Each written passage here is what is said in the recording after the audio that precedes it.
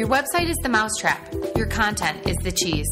Welcome to Content Matters with Barry Feldman and Andy Crestodina. People crave information and people crave visuals. And when you put information and visuals together, you get a super popular format for content on the internet the infographic. What's up with that, man? I don't, I, I don't know if I saw that coming, but I make infographics, and I, I guess I made my first one because I thought I better try this, and I'm addicted now because they work like mad.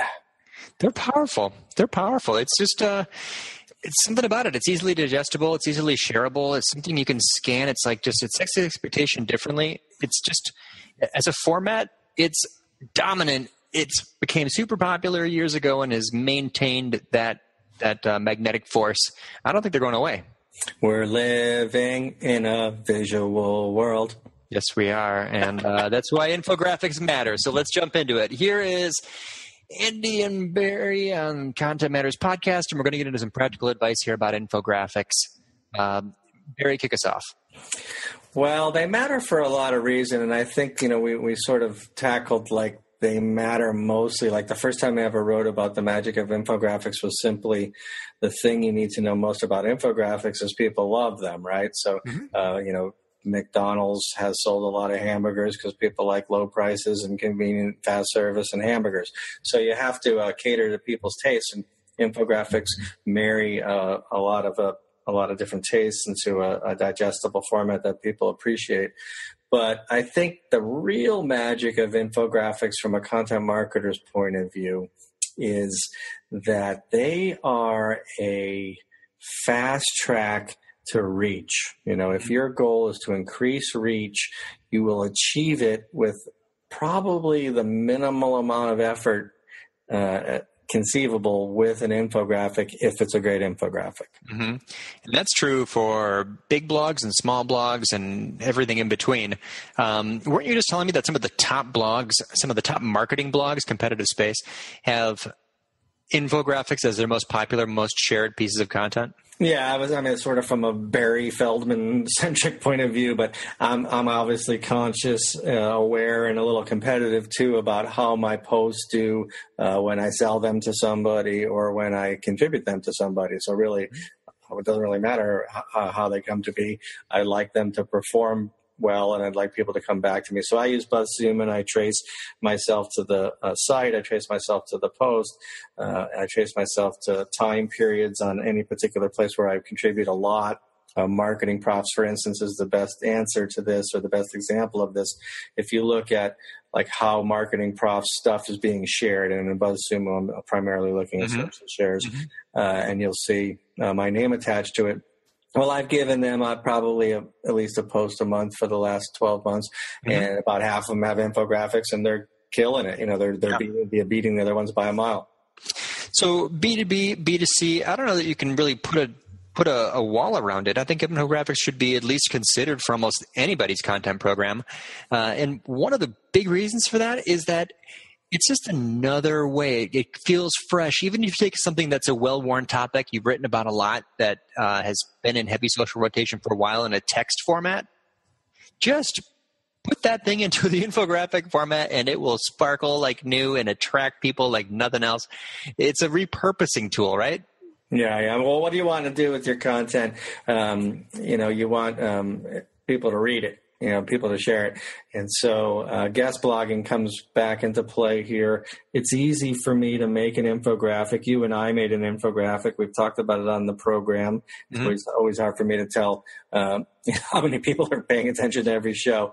But we took uh, your research which is obviously a very good idea for an infographic about um, blogging mm-hmm. packaged it as uh, how do you compare to uh, other bloggers? We called it uh, do you remember the title you, uh, it was yeah. How do you uh, compare to serious business bloggers? That's it. Yep, serious bloggers. Exactly right. How do you compare?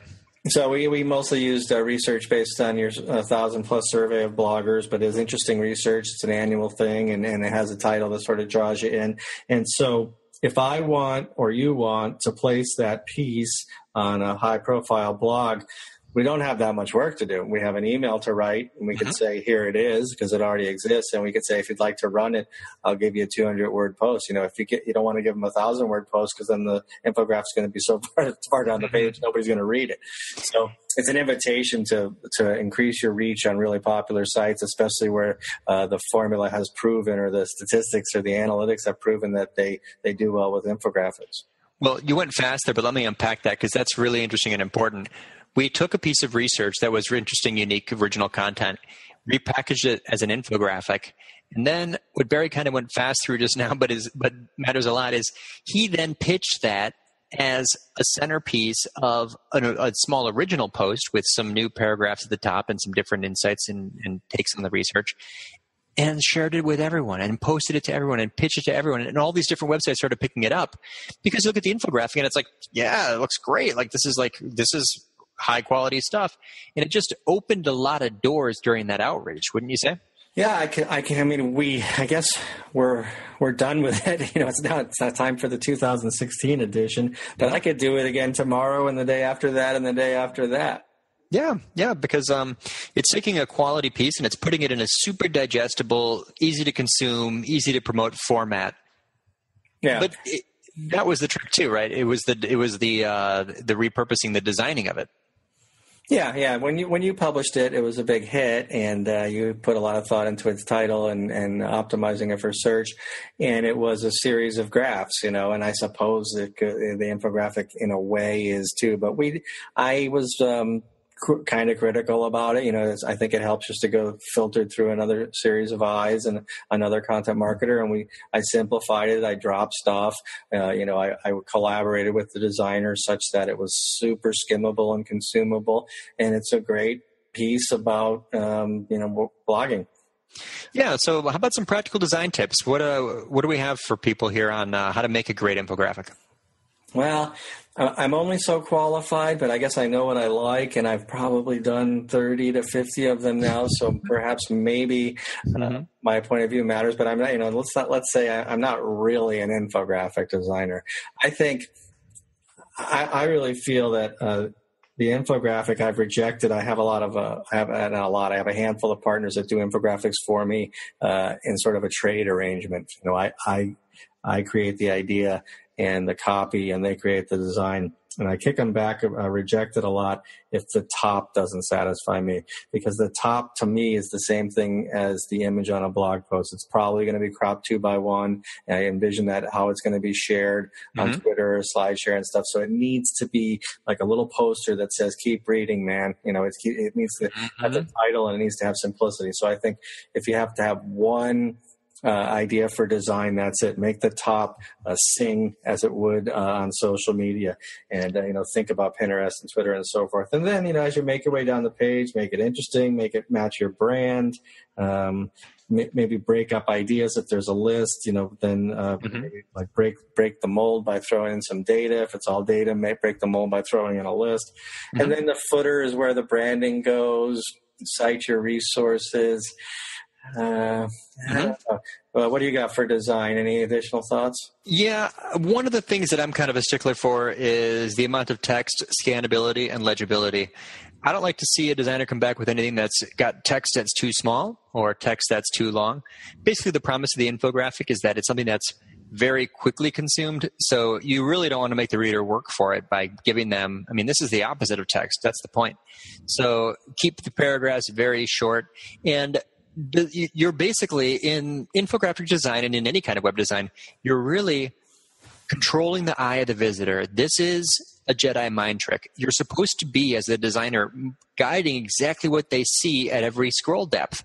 Now, these are very tall graphics. That's that's the point, and that's the format. So there's not a height limit. That's not the concern. Give yourself some space. Leave some breathing room. Don't crowd your elements too close together, and don't start to stack. You know, put like two and three and four and five columns into this little you know 800 pixel wide image.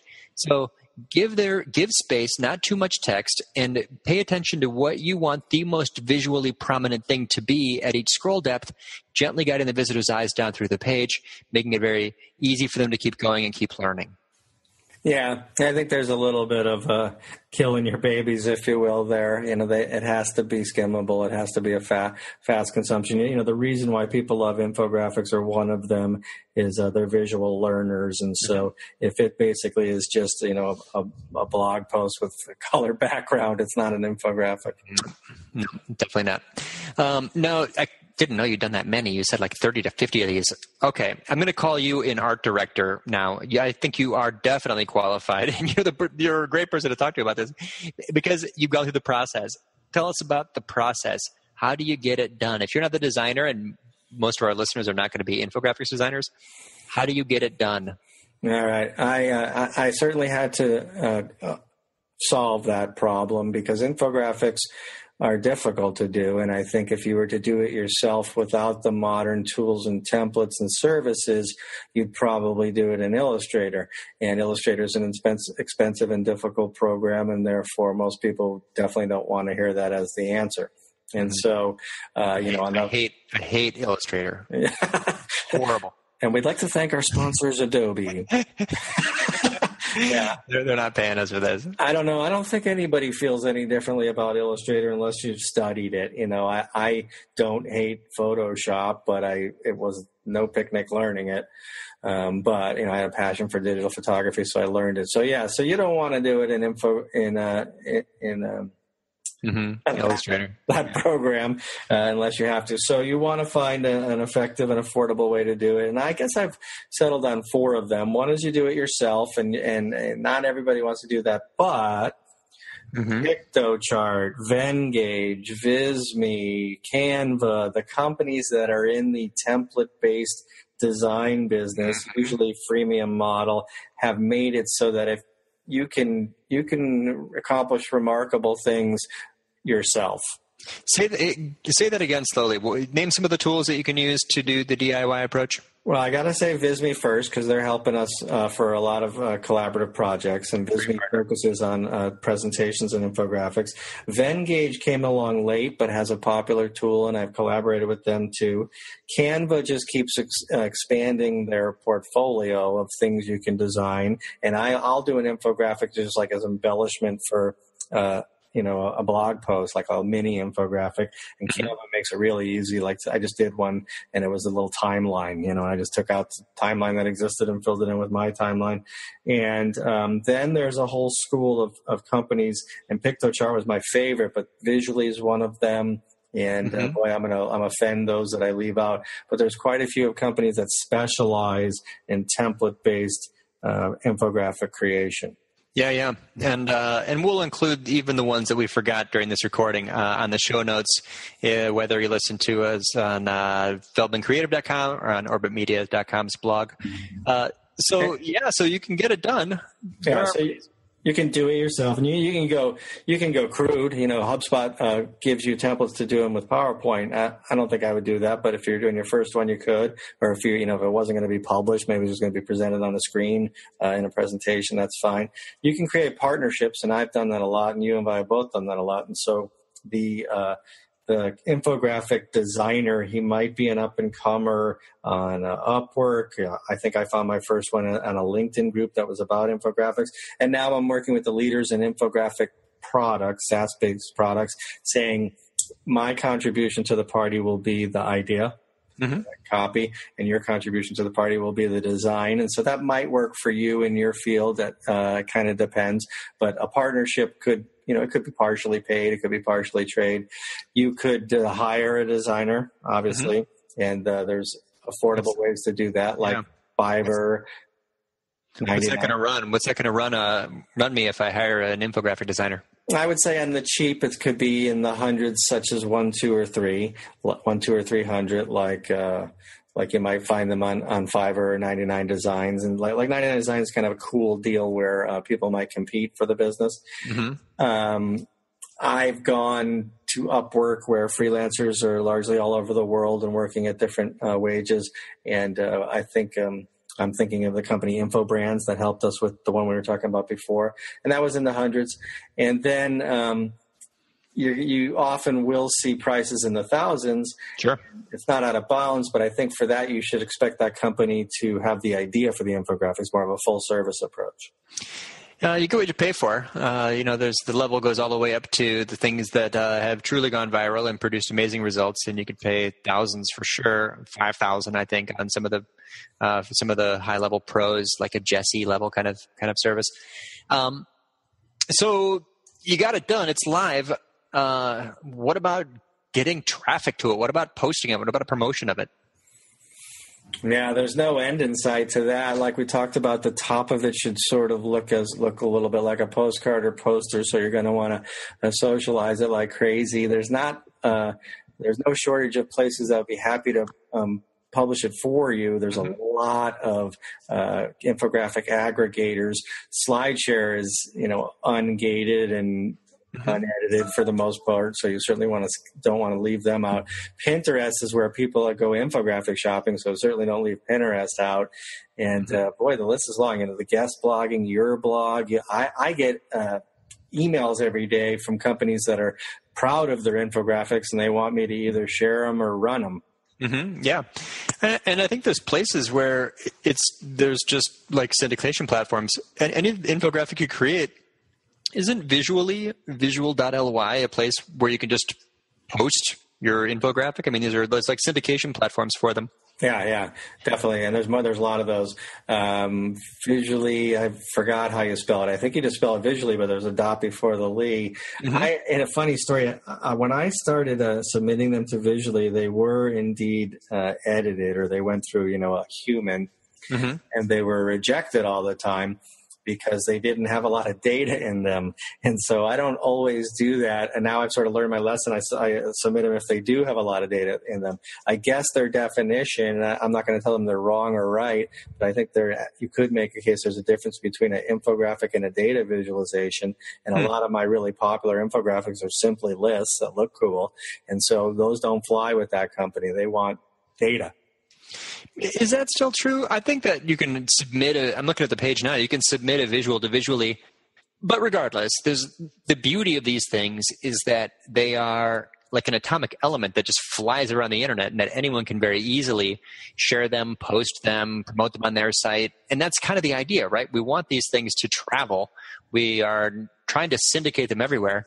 It's sort of the opposite of that mortal fear some people have of duplicate content. Here we want the content to be duplicated. It's designed to be very easily reshared, reposted, and sort of uh, uh, you know syndicated anywhere. All of my most popular pieces, as measured by eyeballs, in my five years of aggressive online content marketing, are infographics. Yeah, and I'm going to get into something here just very briefly that uh, is a reason why a lot of people did these and still do these. If you put an infographic on your website and you make it very easy for the person to copy and paste a little snippet of code into their website, thereby sharing it with their audience, that little code that people copy and paste will include the IMG tag, the HTML tag that embeds the image, but it can also include a little link, a citation, citing the source, which is you. Infographics became an overused SEO tactic to grow links because they are the kind of thing that anyone can grab and put on their site with that tiny bit of code. It's a smart thing to make available to your visitors if you post an infographic. That little box that lets them copy and paste the image and HTML link back to you, back to the source, uh, because if uh, if a bunch of people do that, there are there are blogs that will at very low effort and cost to themselves uh, share high value content with their audience, but also pass a bit of authority back to you. So there is a link attraction strategy that was uh, very, very big with infographics for a long time, and some people still um, uh, use that to great effect. Yeah, you have to offer that. It doesn't mean people are going to do it. They they can easily download, the, you know, the piece, which is largely going to be, or usually going to be a JPEG or a, a PNG. Mm-hmm. But the well-intentioned republishers want you want their audience to know where it came from, and that's the way to do it. Mm-hmm. Yep, sure is. So that takes us into our uh, final segment here. Barry, it's time for mousetraps and cheese. All right. Well, I, I could have talked about this topic for the rest of time. Mm-hmm. Uh, I will abbreviate this, uh, this um, blurb here to say, what about getting ideas for infographics? I didn't want it to be the focus of this podcast because it was the focus of our last podcast, mm-hmm. which was getting ideas for topics. And your topics, you know, very well could be the same as, as your topics for ebooks and blog posts. But I think if this is your first time or you're struggling with infographics or you haven't done them in a while or you know you haven't seen the kind of traction that you want to and you're going all right what should I do an infographic about first thing you should do is go to my infographic, which is called the Great Big List of Infographic Ideas. And so I, I, rallied up every idea I could possibly think of, and people have found that very valuable. So, of course, we'll make that tip available. But inside of an organization that has a sales department, I say make a beeline for the sales department and say, what do you got? How have you answered your customers' questions? Do you have any PowerPoints? The answer is very, very likely to be yes the person who made it is very unlikely to be design savvy, you know, and they're going to have a bunch of uh, relatively dull information with with um, probably important answers to important questions on there in the form of you know graphs and, and maybe at best pie charts and and um, you know whatever kind of graphs. Mm-hmm. So I think the idea uh, the idea that you're looking for to answer some basic questions about your uh, that your customers ask that could be a cool infographic is very likely to live right now in PowerPoints within your organization, especially in the sales department. Um, I've got my mousetrap tip here ready for you, and we talked about how infographics can actually put links into the people's websites in certain cases and bring visitors or bring authority back to your site. I've got a warning for everyone here about linking out to other people's websites based on some conversations I've had very recently with uh, clients and friends. Generally speaking, on a sales page, you've got a page on your website that's designed to convert a visitor into a lead or designed to convert a visitor into a sale. Uh, we're talking about products and service pages. Uh, this isn't an infographic page. This isn't a blog post. This isn't content marketing content. This is your conversion content. This is your this is the page that makes the money. And what this these company in this you know this page we were looking at had some some credibility stuff in there where it's like we're a big member, a certified member of this organization. They link to the organization. The problem with that is that if someone clicks that link, they're now gone. They left. They're not on your website anymore. And as we always say, where there's traffic, there's hope. Keep your visitors on your websites and on a sales page. Anything, be very cautious about linking to anything else. What we did was we quickly found that that that uh, that association had a little badge. It was like a like a logo that they could put on their site saying they were a member of that association. The logo will build more trust than the link would have. The logo also won't send people away from their site. So my mousetrap tip for you is increase your conversion rate by removing exits from your sales pages. Be very cautious and deliberate about anytime you're linking away from someone who's at the bottom of that funnel and who has a chance of converting. The attention ratio is the number of things they can do compared to the number of things that you want them to do. Get that number down as close to one as you can, and uh, that will maximize your conversion rate, keeping the mouse in the trap and helping to uh, catch more of those uh, those visitors and leads for you. we, we have a growing list of uh, mouse traps that don't snap. You know, uh, you know reasons why you're inviting your your uh, visitors to leave. We'll have to create some content out of that. We have one more bonus for you guys. I'm going to invite uh, an expert to give us an infographics tip. Uh, let's see if this works. Uh, we're going to reach out to, let's get some advice here, like a one minute tip from a total pro on how to use infographics uh, for content promotion for uh, many indirect benefits. Uh, here we go. Brian Dean. So, my number one tip for infographics is to actively promote your infographic by emailing it to other people. So, when I first started cre- creating infographics, it was back in around 2010. And back then, infographics were a real novelty. Uh, just creating an infographic was enough to stand out from the other blog posts and videos and things that were coming out at the time. They were unique, but that's really changed because hundreds of infographics come out every day, and it's really hard for an infographic to stand out, even if it's a good one. So, what I recommend is actively emailing people your infographic to let them know that it's out. And the easiest way to do this is to find a popular infographic in your space and see where it's been shared around the web. You can do that with Google reverse image search. So you find the image, put it into Google reverse image search, and it'll show you all the places that infographic has been shared. Then it's just a matter of sending those people a friendly email, letting them know that you have an awesome infographic on the same topic. Wow, thanks. Perfect. So honored to have you here. Thanks for that, Brian. Boz, I think this was uh, this is a huge topic, but uh, we did a pretty good job with it uh, in the time we had. You're calling me by my nickname. I don't know if our audience knows my nickname. Boz. Yeah. We call him Boz. On the island, they say Baz.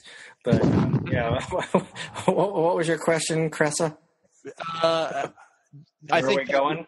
Yep, we nailed it. Uh, another content matters in the books. Uh, thanks a bazillion. yeah, so uh, uh, stay tuned for the upcoming episode that will tackle a whole bunch of ideas uh, and our best advice about website navigation. It's gonna